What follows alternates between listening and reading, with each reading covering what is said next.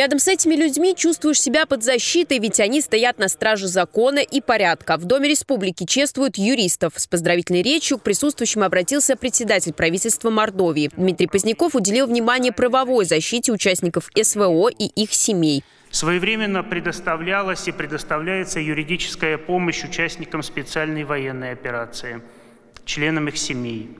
Основной площадкой оказания бесплатной юридической помощи является открытое в этом году Государственное юридическое бюро. 44 человека собрали в большом зале для награждения. Это лишь малая доля тех, кто связал свою жизнь с юриспруденцией. А таких в республике тысяча. Почетное звание «Заслуженный юрист Мордовии» в этот раз получили 4 человека. В их числе была Светлана Толмачева. В нотариате я работаю уже 36 лет. Буквально с первой записи в трудовой книжке.